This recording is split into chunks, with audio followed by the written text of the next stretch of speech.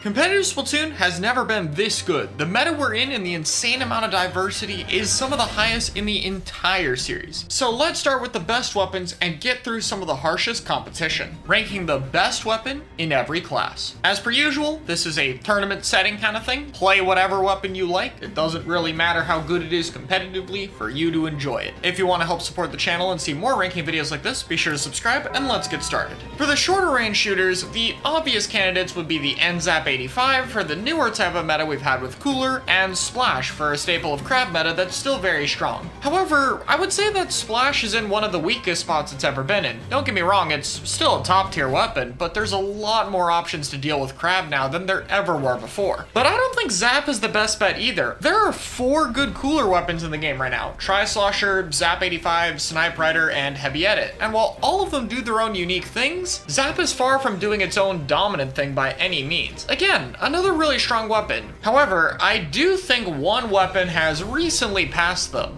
the Splattershot. This weapon was already pretty solid, but fairly recently got some buffs. It has better accuracy, but even more important, Trizooka is really good right now. In fact, it's arguably the best special in the game. The area of effect hitbox has recently been buffed from 40 to 60 damage, making it combo with itself for a two-shot as well as comboing with a ton of other things, such as other meta specials like Inkjet for example. And while you may not have as many shots as Jetpack, Trizooka has more range, a giant radius, and it's significantly faster and harder to react to. Because it happens so quickly and it's on a weapon so cheap as well, you can get a lot of Trizookas. Spotter shot's 190p, that's pretty easy to farm them on. So not only do you have a solid, fast, flexible main weapon good for slaying and special output, paired with a solid bomb that's worked for it for three games, but you also have one of the strongest specials in the game, one of the main ways to get your team in, secure picks, or work with other weapons that can play off that 60 damage. This to me gives it the top spot.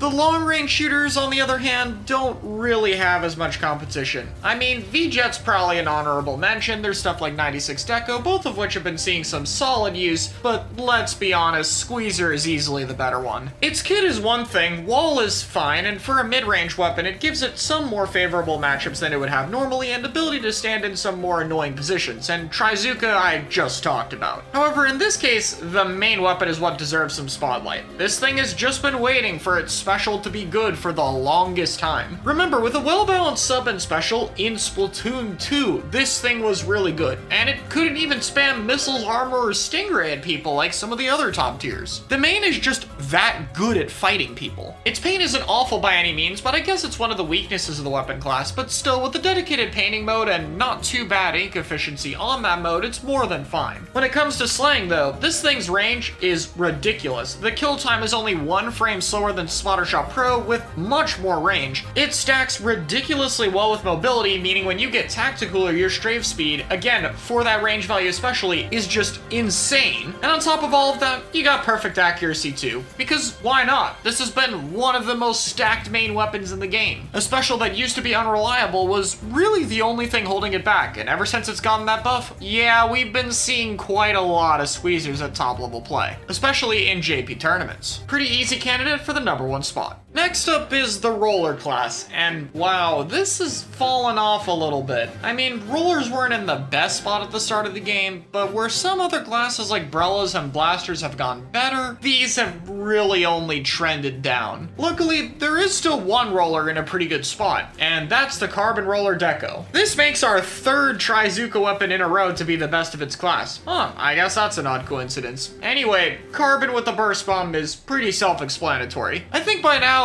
anyone who's played this game or Splatoon 1 enough knows just how devastating that combo is, and Trizooka is not only a great special, but something that works particularly well on a weapon with limited range like Carbon. This is a weapon that's been seen as one of the best in its class for the longest time now. Even when it had Auto Bomb Rush, it was arguably the best roller in Splatoon 2, so I don't think this is going to surprise anyone. Next up, for Chargers though, anyone out of the loop might be surprised by this one, because, well, this weapon was seen as pretty bad when it originally came out, but honestly, it's the best one now, the Snipewriter. To briefly cover its strengths, the weapon solves a lot of the inconsistency problems Chargers have by having five separate shots, making it much more reliable to get some value. The weapon also paints and moves quite quickly, while having a very strong kit capable of getting many tactical options for its team. Cooler is really important for keeping up the aggression right now in this meta, as well as mitigating the value of more powerful specials like Trizooka, Inkjet, or Crab Tank. And Snipewriter in particular gives you the ability to run more aggressive comps with it, since this is an anchor weapon with Cooler that can stay alive and give jumps to your team. It's not a perfect weapon by any means. I mean, look at its object damage, for example. That's always going to be bad. But that is definitely not enough to keep it from being the best charger, and the results are not even close when compared to the other ones. This thing sees way more use.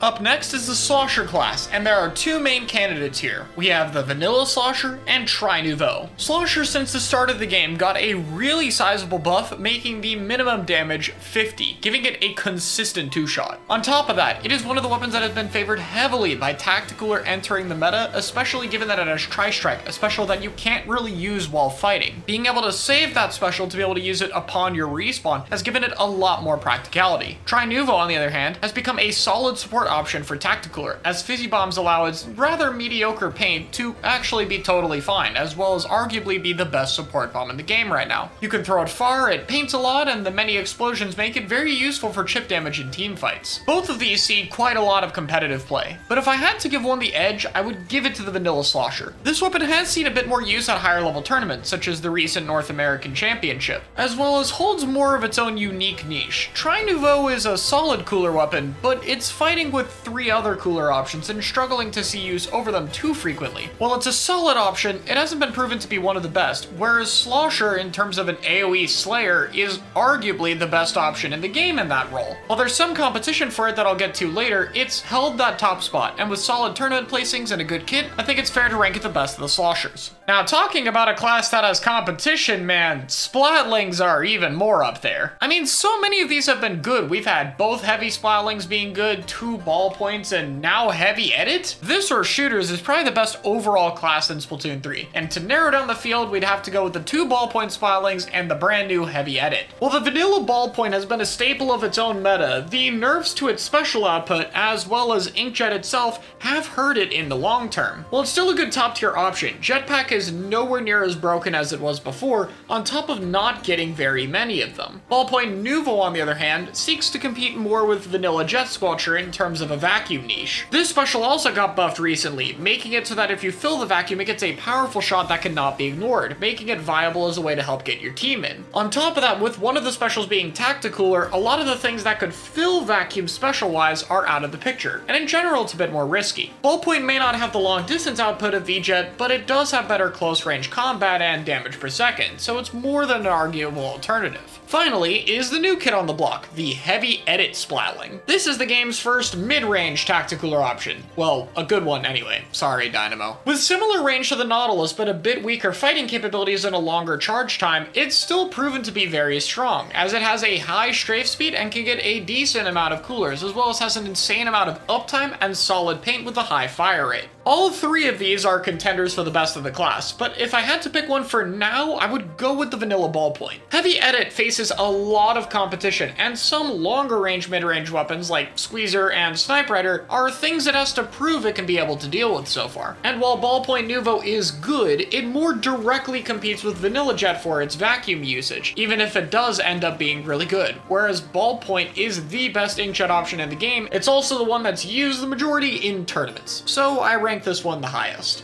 Wow, I had to ramble a bit, huh? Yep, in fact, so long that I'm gonna have to split the best weapons of every class into two parts. I mean, look at this runtime. This was already a decent amount of video. So, yeah, we'll be covering Blasters Onward next week. We'll see you guys then.